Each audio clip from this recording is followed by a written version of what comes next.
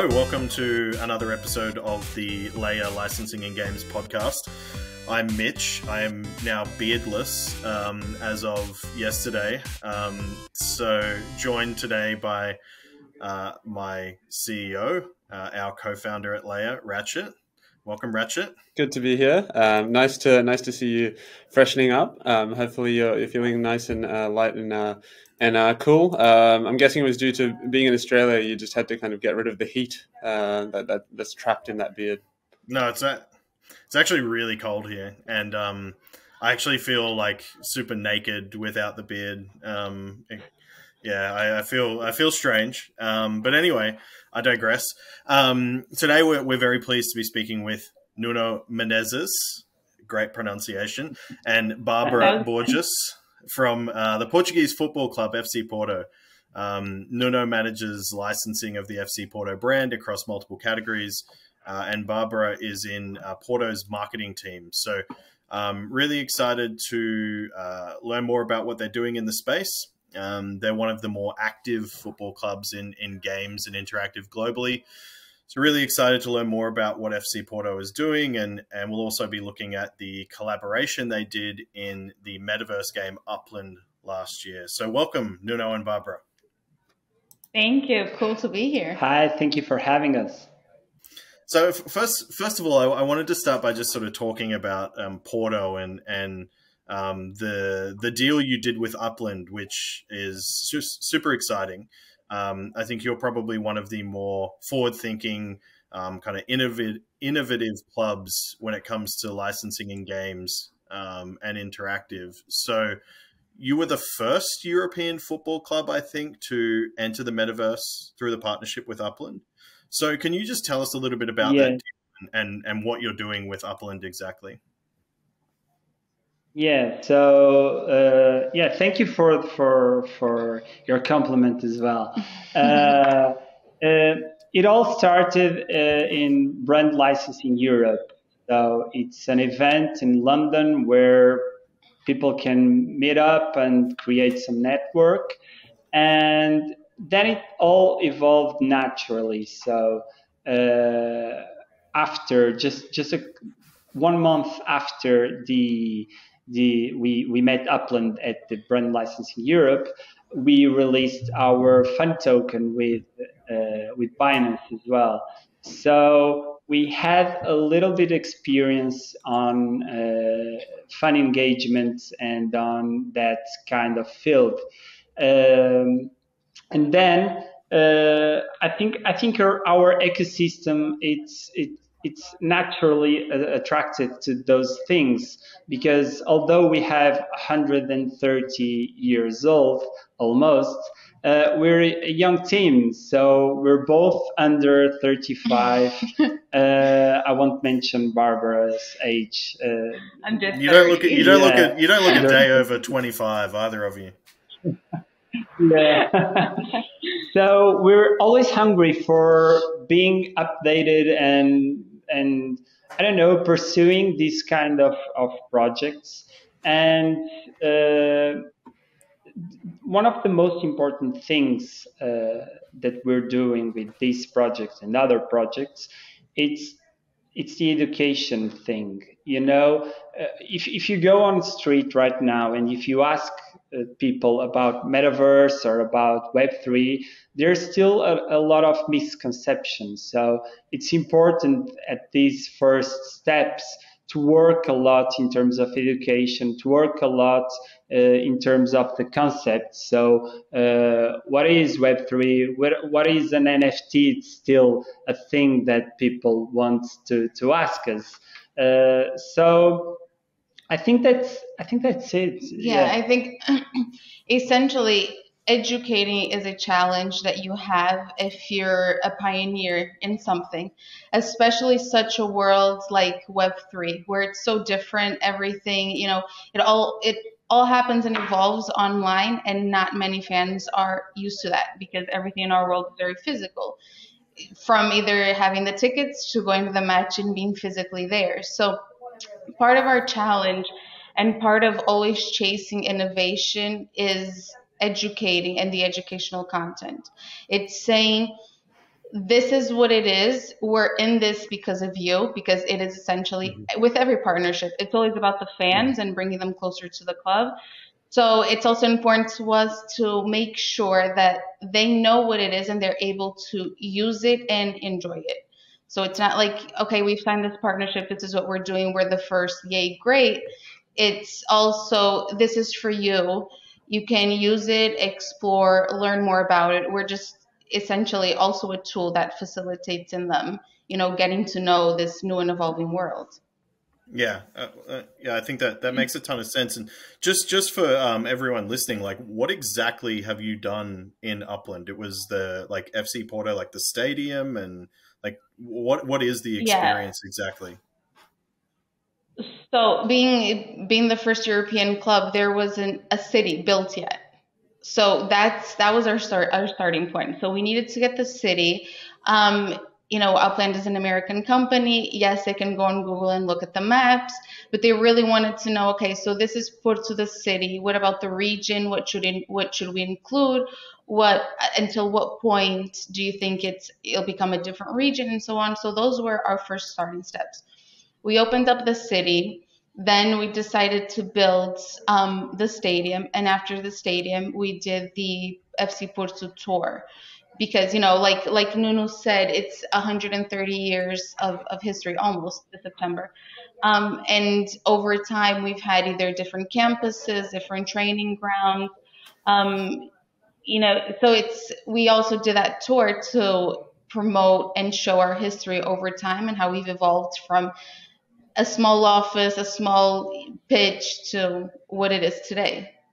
Yeah, and one one of the things that we we worked a lot, it's uh, this kind of platforms doesn't limit themselves in the digital world. So we needed to create experiences outside the digital world. So we invited fans to come over to have experiences in stadium, to uh, meet and greets or VIP tickets or other kinds of assets and things that money can't buy. So this is the true asset for an NFT project. It is those kinds of experience that that a fan can't have access mm-hmm. uh, somewhere else.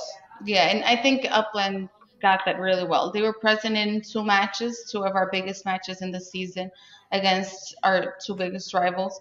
Before every match, we have, well, in the US, it's the concept of tailgating. Here we call it our fun zone. So we have different experiences, we have food, we have drinks, we have a lot of things going on outside of the stadium. And Upland knew that they understood really well that they needed to be physically present for then fans to trust them online. So they were here. They had two activations, which was the 360 activations, where fans got to make videos, take pictures. They had giveaways. They gave away tickets because essentially it's just like he said. Yes, it's all online, but for you to get that trust and to really get the value in that, it's you know football, soccer, mm-hmm. whatever you you want to call it. It's it's still very physical, and that built a bridge. Yeah, yeah, and um instead of uh, you know barbecue and and the American tailgates, you just had bifana and soup. Was that the the Portuguese style tailgate? The fanas are definitely present. Soup is very present, but we also have beer and other drinks and games. No. Awesome. And and what? How was the game against Sporting? Did Sporting win or did Porto win? Sporting's the team that I've adopted, by the way. So really? Yeah. We should have known that before coming that. on. Mitch, Mitch doesn't understand a thing of, of, of sports, so he's just into the colors, I believe. Uh, beginner's mistake. True. But yeah, the, that can't be an excuse because blue is better than green. Of course, yeah. of course, of course.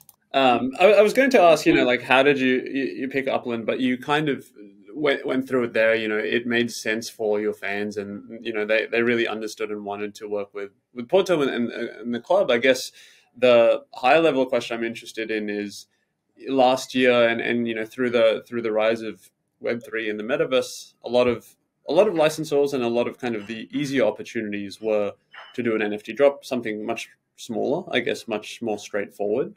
Um, what led you down that path of kind of like actually we, we want to do something big and it's going to take a lot of effort you know we'll have to figure this out. You know there's complexity there. What what initially made you get into this space or like make that decision of like actually you know we want to we want to build something big here and, and see how that goes we understood early on that this was a new world that was here to stay. And you know, it, obviously we knew it was going to be a challenge and we knew we didn't have comparison. Mm. We had small things that other clubs were doing, but not as deep as we were. So it was almost like, all right, let's let's see how this goes. Let's trust our instincts. Let's learn a lot more about it, um, and and kind of make our decisions based based on that. We understood from our experience with Binance mm. that things were evolving, and it's a very fast evolving world. And so we felt very comfortable. Our experience with Binance was very positive, and we thought, why stop here? You know, we, there's interest in this. We see interest from our fans, even if it is just the educational part of what is it. Explain mm-hmm. to me what's going on. What are you doing? What are you achieving? And how can I either benefit or participate from that? And so we really we, we felt comfortable in a way that let's try it let's try it. It's it's very in our DNA. You know, we're, we're, challengers. We like mm-hmm. to do things first, and we like to do them well. So it was, you know, at first you're walking on eggshells, and then eventually you take off the training wheels, and then we're like, yeah, let's whatever it is, we'll learn about, more about it. We'll um, provide new experiences, and it just will innovate. It's fresh air. Yeah, and in, and in terms of licensing and partnerships. Uh, it's important to trust your partners, mm. right? Mm. So we know what what's our what is our field of expertise, which is playing football, which is even marketing activations, uh, and we wanted also to outreach mm-hmm. to to be where our funds are going because it's as Barbara mentioned earlier it's it's all about this. It's all about bringing the fans closer to the to the club and the club closer to the fans so we need to be where our mm-hmm. fans are. And we have our, our fan base it's it's really diverse so we have a lot of young people and we ourselves are enthusiasts of, of the, these things. So for us, it's, it's the complexity didn't scare us. Mm-hmm but it, it, it created butterflies in our in mm-hmm. our stomachs you know we were like let's do this we were really excited that's that's that's exciting to hear and i, I think it's um it's it's interesting that you mentioned trust and and relying on the partner to know what they do best. I guess uh, just quickly, like what was that ideation creative process like? You, you know, you've obviously we've seen the output of kind of the stadium and the city and all of that, but was was that you asking Upland, you know, what do you want to do here and what will work best for your your players, or did you lead with I think we should build this, or like, or was it just a mix of both? Um, I think honestly, it was a mix of both. Mm-hmm. It was a mix of both. It was us telling them how do we proceed? What are our next steps? What do you need from us? What can we do? Mm-hmm. And it was them saying, okay, this is the next step, the usual next step. Does it make sense mm-hmm. to you? Does it apply to you? And I think we've just evolved from that. Like like I said, it, we started building the city, and that was them telling us, this is the first step. We have to build this city. Right. How far can we go? Mm-hmm. And then it was then us telling them, okay trust us. We're here. We, you know, we live here. We know how this is. So go up until this point. And then we'd say, what is the next step? And then they'd say, okay, let's build the stadium. And then we'd say, okay, here's everything that you need for building. You know what I mean? So it was very mutual. It was very, they know the best about what they do, and we know the best about what we do. So I think the process was very 50 50 in terms of what do you need from us, and they tell us, and then vice versa. Yeah, and it was really intense because uh, it was very fast. Yeah, in the beginning we were meeting uh, every week and and also with with uh, WhatsApp, we, we, we were Yes. always communicating. And and well, a, a big shout out here to Barbara because because he was she was really really important in this process in making things happen. So I think it was it was really great to have that ecosystem created, and we were speaking the same language. You know, we were all into the same Uh, projects, although sometimes uh, in these uh, uh, projects the goals may be different because well our main goals were uh, diversification of our assets were, were the outreach was to try to be where our fans are and then upland had their goals as well to add another city to get into europe and well it, it, it but it all complemented which was big too.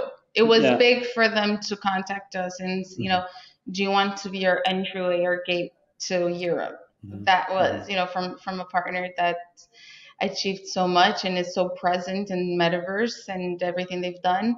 It was it was big for us to receive that and and have that opportunity from them. yeah sure Sounds sounds really healthy. I think you know it's it's that level of trust of they have you know Upland has this mechanic of cities. It's a real world simulation almost. You need those kind of core elements, and off the back of that, you're then able to influence that with what works for your fans and, and your audience. So, um, I guess now that it's kind of out there and uh, it's it's happened, like, are you able to talk about like what the results have been or any high level kind of learnings, you know, in terms of output?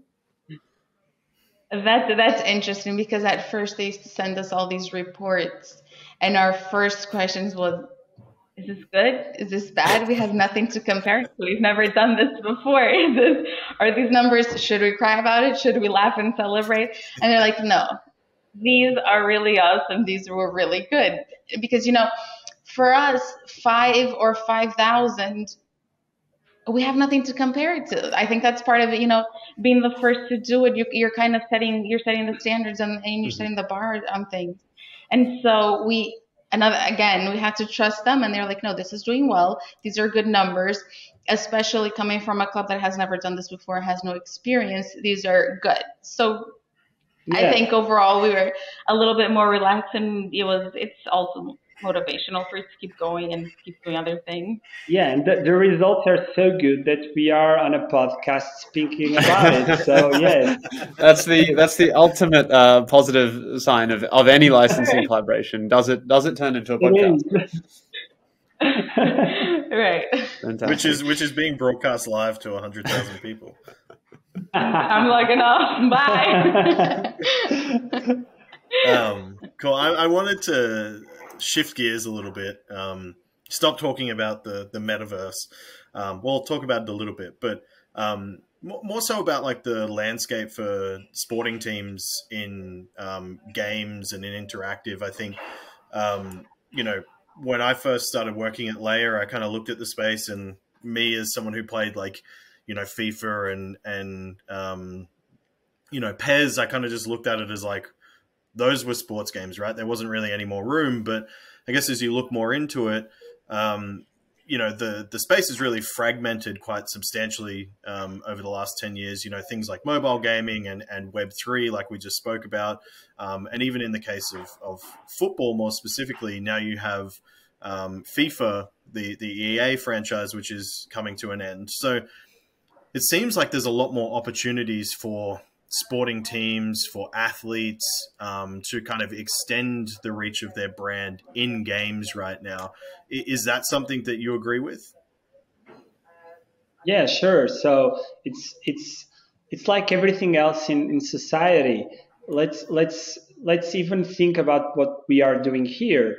Uh, 30 years ago, this wouldn't be possible. We needed to be on a radio station with all these technologies. So we just have one option to make it. Now we have multiple options. We could be uh, at our phones. We could be. We're in in three different countries making this happening. So yes, the fragmentation. I think it's good because it creates more opportunities. It creates more assets, more platforms, more spaces for concepts to evolve and for people to be in. So yeah. Mm-hmm. And I think in in terms of partnerships for the club, as long as they make sense for the club, then you have endless opportunities, and it's a perfect gateway for you to get to more people. What we've seen through this whole Web3 experience is that you're able to reach a lot of other people. Before we didn't have the concept that we had a lot of fans in Turkey, for example. And Mm, Web3 okay. taught us that. You know, Web3 taught us that. And so through these partnerships, you're getting to a lot more people, a lot more fans, and you're you know putting putting your club out there and showing them everything you've you've achieved and, and showcasing your history so i think regardless whether it be a mobile game, whether it be EA Sports, whether it be whatever, it's it opened up a lot, and I think it's evolving quite fast. That's that's super interesting. So those fans in Turkey were they like were they already fans, and you just kind of reached them through this project with Upland, or Um, are they are they new fans now that you've reached as a result of doing the partnership in Web three? what we noticed was they were fans. They knew about the club and had a positive image about the club. Right. which is a small seed that you need that once you have the correct partnership once you get to the right places. It's just that click that we're like okay i knew about them. They were good. I like them. And now they're doing this. This is interesting.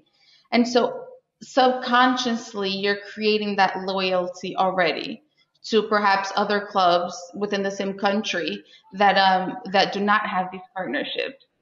You know because they already have that we noticed they had that positive inkling and now you just did this partnership that also interests them that's added points so in their mind subconsciously they're already their focus is on you Yeah, and, Mhm. and if you think about this, we're a we're a, a team that is almost always a Champions League, so we're always exposed to different countries. Mhm. And if you think about players, we had some players that played here and then went there, so it's easy because we we always have great players, so it's easy for them to have a positive uh, uh, thought about us. So yeah.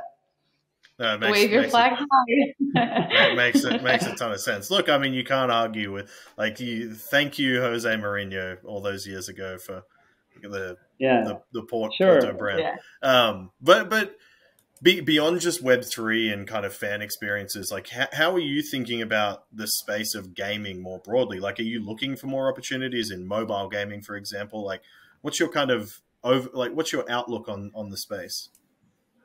I think it's as as Barbara mentioned, as long as it makes sense to us, as long as it respects our identity, we have some we have some boundaries that we will like. We have our identity. It, it's not boundaries, yeah, it's the wrong word, but we know who we are and we know who we're not. So yeah, we're always looking for new opportunities because as we're a young team, we're always we, we Mhm. want to be everywhere but but we know the, the club's voice we know our philosophy we know that, that there are some fields that makes more sense for us and fits better with our with our mm. identity than others yes sure yeah. Yeah. and also with our credibility we don't want it's not like we want to be everywhere doing everything. If we do it even it, it could be small but it could be good and as long as it makes sense because then either our credibility and our other partners credibility it's like okay well they're everywhere. Either good or bad they're there. That's not us. We want to do it. We want to do it well. And we want to be a little bit you know present and ever so that we can get to our fans are all different with different tastes with different you have the guy who comes to the games in a suit. You have the the lady that's all tatted up up and down. You know you have so i think it's it's important for us to have a little bit of Mm. what everybody likes but it's important for us to do it well and it has to make sense because other Yeah. than that we don't we don't want to saturate anything or anyone Yeah, and, and it, it's also important the, the scale of the, the project because sometimes it's important to, to evaluate. There are some partnerships that are at the beginning, so we need to grow with the partner. We need to believe in the project. So smaller projects don't uh, uh, scare us, but but they, they have they have to make sense. You know, it needs to respect uh, the way we think, the way we breathe, and it needs to respect the connection that we have with our fans. That's the ultimate thing. Yeah, makes sense. Um, I think that's a really good way to approach the space. Is like always be open to the opportunity, but you know, make sure that you stay true to to to your brand and your values and and your identity. Um, what what like if you look at the space of games and interactive and and sports clubs, you know, maybe not maybe not just football, but across all sports, like what are some of the opportunities that you see emerging you know, at the moment and over the next few years? Yeah, so I think there's a lot of focus on collectibles, uh, whether it is physical collectible, whether it is digital collectible, or this new thing, the digital collectible. So there seems to be a lot around this, and we think that this is an area to, to, to explore for sure. And there's always some gamific- gamification around this new concept. So uh, I think those are the areas to explore uh, right now in the present. But in the future, as this is so fast paced, we don't know. We, we, let's let's imagine in 10 years what what will be trending we, we don't have an idea we, we but that's why we need to be always aware that's why we need to be everywhere see where are our fans what are we doing and think as ourselves as individuals because what are we doing? Where where are where are we? Uh, and how are we connecting with games and with things? So yes I, I think we need to be aware of these things, but collectibles are a thing for sure.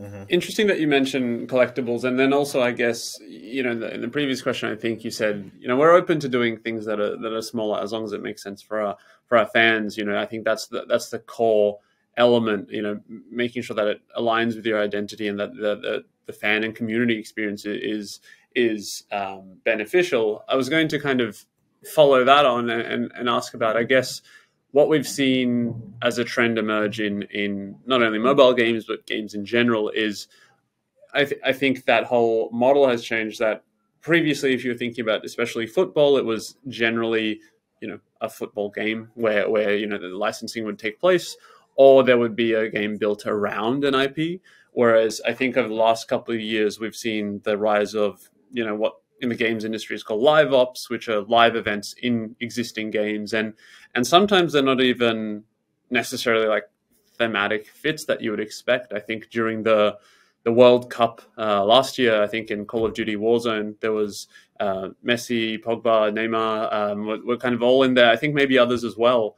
Um, so I'm, I'm, curious to get your thoughts on that because you know they're they're a little harder to assess from a does it fit our identity? It's you know it's not something that traditionally would have made sense. And as you as you just said, you know we don't know what will make sense in, in ten years from now. But I think these kind of uh, smaller collaborations where they're, they're tapping into an audience that probably overlaps already with your with your fans seems like a like a big opportunity for sporting teams, but it's still kind of largely untapped. It, it seems to be something that stands out uh, when when it happens. Are you seeing more of that? You, do you think that will continue to be the way that this happens, where you'll end up taking your your brand and your club into kind of all manner of, of, of types of opportunities and experiences that necessarily aren't you know aligned with with football? Is, is that how you think the space will play out? I think this space is helping making the transition from a from football just being leisure something that you come to once a week to being lifestyle and a whole experience, mm-hmm. a constant presence. I think with um, not only Web three, but you know gamification and so on in the later years now, um, it's closing the gap in just you know a Sunday match that father and son come to either the whole family is coming to because now you perhaps have a female mascot that you know appeals to the little girls and it comes up with the whole experience i think the gamification just mm-hmm. allows your brand to get out there a lot more and even like you said if it doesn't make you it may seem like it doesn't make sense. You know, Call of Duty World Cup, it's it's two it's two different worlds a little bit, but you have thousands, mm-hmm. if not millions, of people that play Call of Duty and like football. Mm-hmm. So it almost goes back to the thing that I said about our Turkish fans.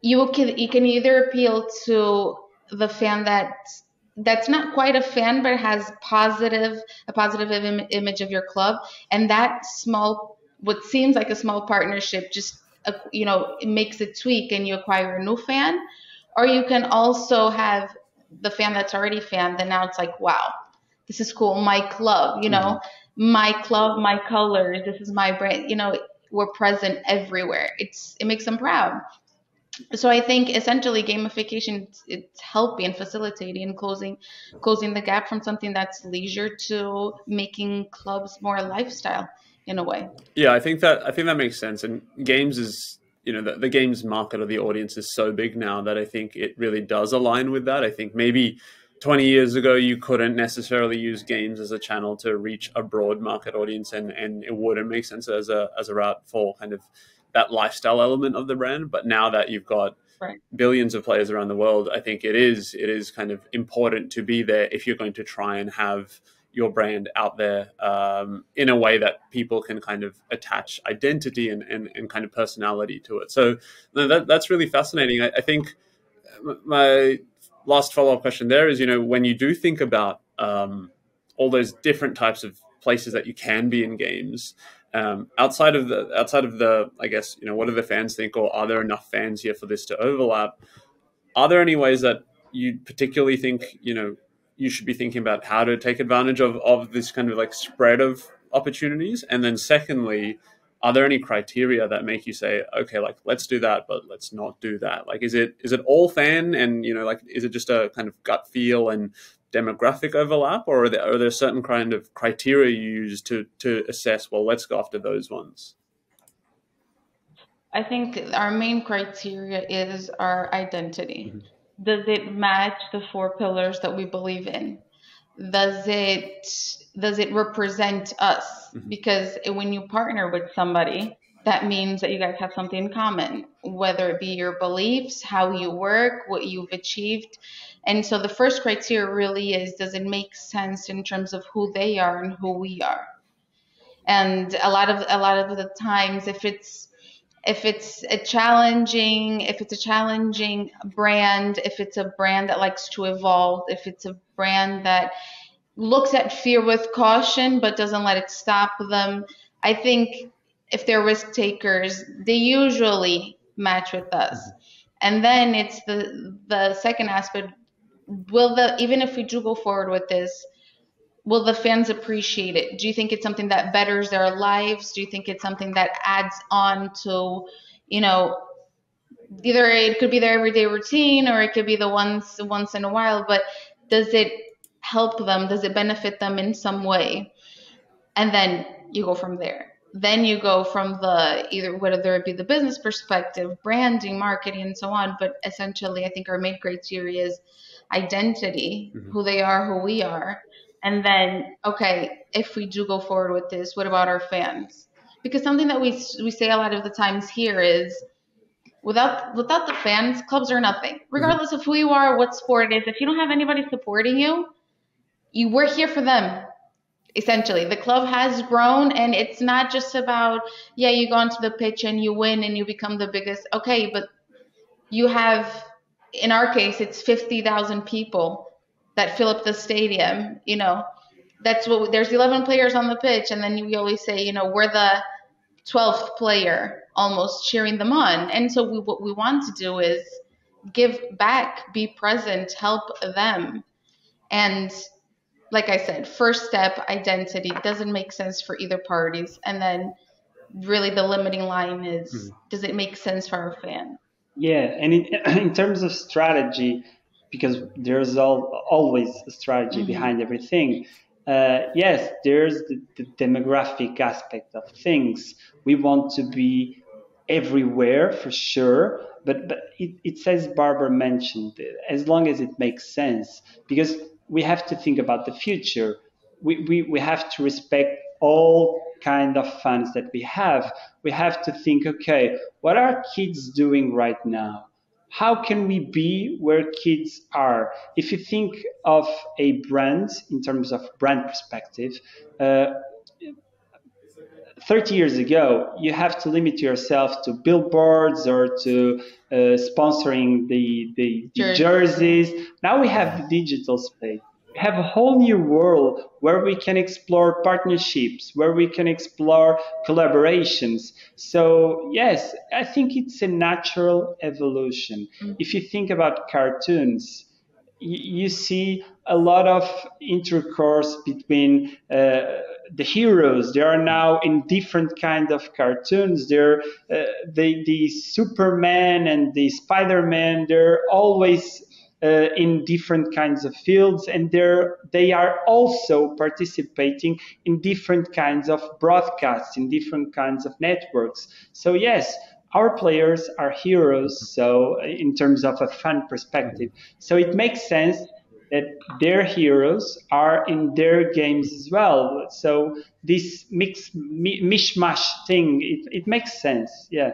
Uh, makes some sense to to um, be across multiple kind of areas in gaming. I think you've got, you know, I think Barbara, you mentioned, you know, identity and then caring about fans are the two kind of main pillars that you assess things on, and and then you've kind of got the ability to then segment that out into you've got fans that are older that have loved you know the the club for so long, and they'll be playing certain games. But then I think football is such a lifelong passion that if you if you don't, you know, think about where are the kids right now that might like the club. Like if you don't, if you're not there, it's very hard to get them later. So if you can be in front of them now, that makes a lot of sense as well. So thinking about like all the types of fans and all the places they might be, I think is a, is re- really strong learning to to kind of take into into thinking about the games market. Absolutely. And it's starting earlier and earlier on. Mm. Now you know you go out to dinner, you go to a restaurant and there's a three year old already with the with the phone in front of them. So it's the early bird gets the worm and we want to be that early bird as long as it makes sense for us. Yeah, yeah. And and and yes, if if you think this is also a, a generation gap. So uh, our grandparents grew up without technology or with little technology. Our parents grew up having contact with computers as a, an adult, right? So we grew up with technology as kids, but mostly as teenagers. My kids are growing up with technology right now, and and we have to understand how do we want to relate with that kind of space how do we want to be there and how can we add value to this because it's important to add value to, to this mm-hmm. space as well i, I, I think um, what you're trying to say is and this might be the inside scoop for our audience is that there's a fc porto roblox experience coming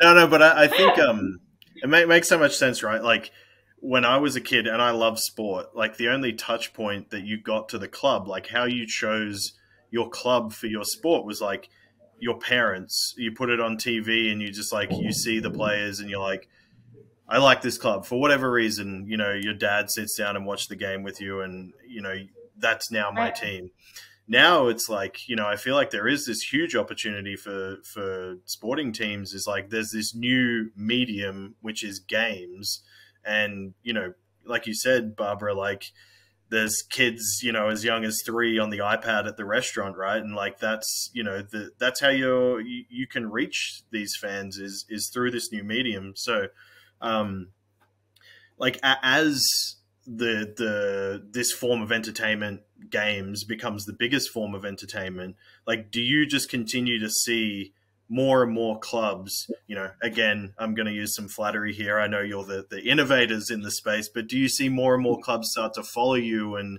and start to tap into this medium as a way of reaching new fans?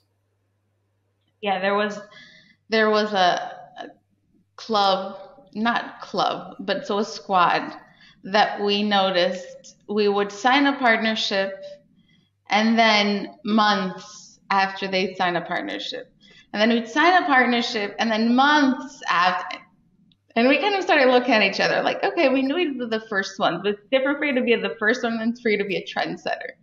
And so it was quite cool for us, you know, we're small in terms of population. We're a small country. We're a you know we're a club that comes from the second biggest city populated city in Portugal. And it was quite cool for us to see like okay, we're physically small, but we're so big in terms of our presence. This is what's happening. And we've noticed also, which is which is funny for us to see in terms of the generational concept that you mentioned. Now now, you know, years years ago you'd have family teams so whatever the dad the uncle the whatever was and the kids would be now it's not now you see a lot more kids and parents you know arguing about you know who's the best and who because again from from such a young age you're exposed to different teams and they they have more educational content in terms of who's winning who's doing what what players are big and what players are you know the stars. And and so it's very interesting and gamification is is doing that. I do think however that gamificate this whole world will be successful if it does not lose completely the physical aspect. Mm-hmm. Yeah, mm-hmm. yeah, mm-hmm. totally agree. But totally I think agree. that's what gives the. I think that's you. You know, you have the first steps, which so before used to be once a week you'd go to you come to the game with friends, family, whatever else, and that was it. Then it turns into the lifestyle. So now the brand is it's there, it's in your life, you see it, you can either relate to it more or so on. Then now it's into the digital world and what we see with that digital world is you get the value in the digital if you have the physical. Yeah. Whether it be like in metaverse, if you have legit and you get a signed jersey, you get VIP tickets, you get to come to the games. It's it's a lot of the new trends that we're that we're seeing. I we don't think because like Rashid had mentioned before, it's such a lifelong passion mm. and it's something that's so present. And in so many ways, a lot of people feel represented by their clubs that it will only have, it will only reach its maximum potential if it does not fully lose its physical aspect. Yes, 90% can be online, iPad, whatever form whatever form of um, of hardware it may be, as long as it doesn't lose the physical, as long as it doesn't lose that you cheering for your team, them scoring, and you getting the goosebump mm-hmm. feel. That will be the only thing I think that will carry this on further. Yeah, and, and the thing is, I think I think we all agree on this. It's digital and physical are not competing; they are they are partners, right? So, and this new space, this new partnership between physical world and digital world, this is where things are going to, to, to, to thrive, right? This is where things are going to, to grow. It's not moving everything to the digital area. It's understanding how to build bridges between mm-hmm. those two worlds. Because, yeah, that's totally agree, Barbara. Well done. Uh, yeah, I, no, it's it's it's it's actually like a fantastic point because me as a as a big sports fan, even if I think about an NFT, would I be interested in buying a collectible from one of my favorite teams? Sure, but there isn't anything that really replaces the feeling of like buying a player's jersey and having that sense of pride in your club or you know going to Some a like history with you Exactly right. Like, and and you know, I look back at some of the jerseys in my cupboard, and I'm like, oh man, that was either the dumbest thing I ever bought, or you know, I'm so proud that I supported that club at that moment because you know, what what an awesome player that that person turned out to be. So, um, you're absolutely right. Um, one one last thing, um, I think about like the the generational thing. It's a bit of a curveball. Um, I think about my nephew who plays a lot of um, a lot of soccer games, or sorry, football, um, football games, um, and they're like fantasy games where you basically create a team that's just made up of individual players, mm-hmm. right? And do you feel that there's some risk there of like kind of you know might there be a lack of brand loyalty where if you know someone grows up liking he loves Neymar, right? He doesn't like Messi.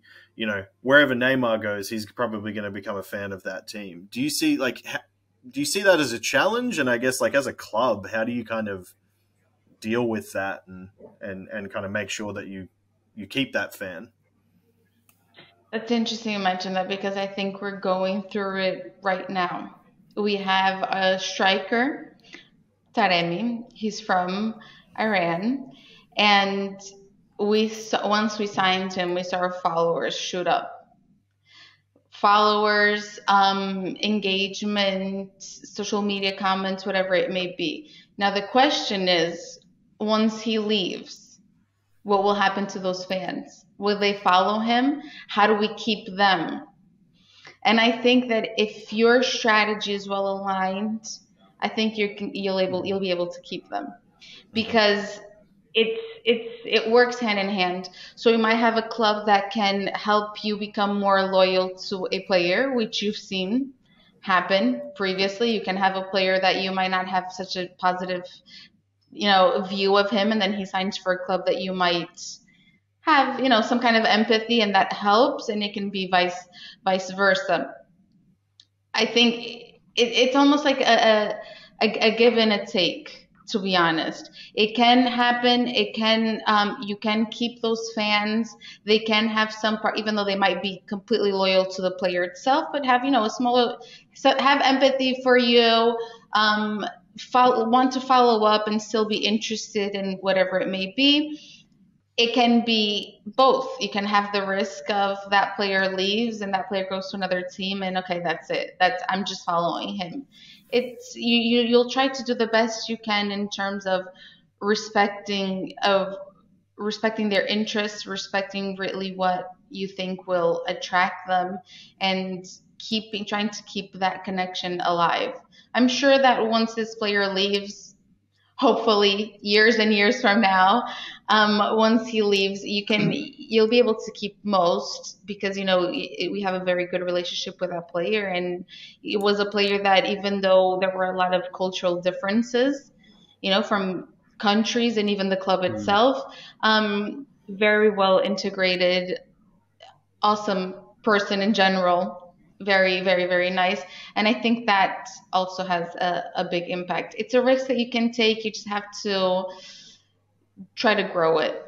Just mm-hmm. try to feed it and try to and try to grow it as best as you can, and then hope for the best. Yeah, and in, in terms of legal gray areas, it's it's all about the way you connect with players, right? So we, as Barbara mentioned, we have we have an ecosystem here that that thrives a family feeling and belonging. So we have that between us, but between us and our players. If you think about almost of our players that have left here, they they stay connected with us for forever. Mm-hmm. So our legends are really connected mm-hmm. to us. And this is about philosophy. This is about identity as well. If if you think about uh, we're we're growing in a more individual society.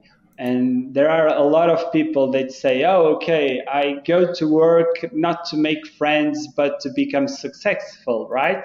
Here we don't have that because i think that the, the best work that we do it's the work when when we do together. Uh, we work in different areas but we cooperate and then the work becomes bigger than us and the club it's this. The club it's bigger than us.